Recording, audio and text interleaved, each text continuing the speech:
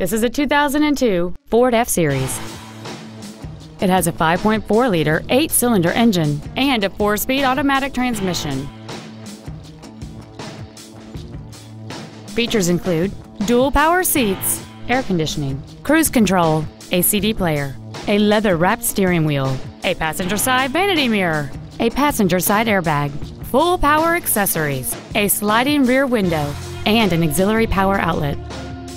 Contact us today to schedule your opportunity to see this automobile in person. Sheehy Ford is dedicated to doing everything possible to ensure that the experience you have selecting your next vehicle is as pleasant as possible. We are located at 418 South Washington Highway in Ashland.